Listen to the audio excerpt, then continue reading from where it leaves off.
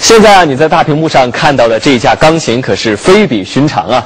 它是北京奥运会开闭幕式上郎朗弹奏的那架水晶钢琴。目前呢，它正在长城饭店北纬拍卖的预展上亮相。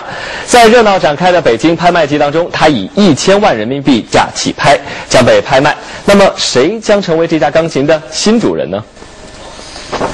水晶钢琴是北京奥运会后的首次公开亮相，和钢琴一同拍卖的还有奥组委签发的纪念证书、开幕式总导演张艺谋签发的文书等。一份荣誉证书写明，水晶钢琴目前由著名歌唱家张爆墨收购并荣誉珍藏。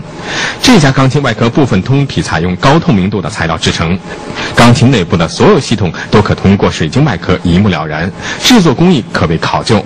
而这架钢琴是为了奥运会专门设计，使它更加不同一般。所以它具有。稀缺性和唯一性极具收藏价值。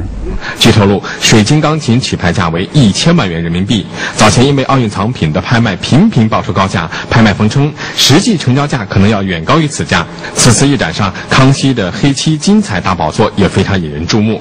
它是从英国回流的清宫文物，故宫博物院有关专家考证，应该是清代康熙晚期的制品。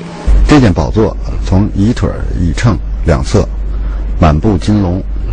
动静结合，代表了当时皇家修图金漆工艺的最高水平。从于今年早些时候引人注目的清宫龙袍同时亮相北纬秋拍，而在北京拍卖季首次推出的古典西洋家具专场，茜茜公主使用过的沙发等也非常值得一看。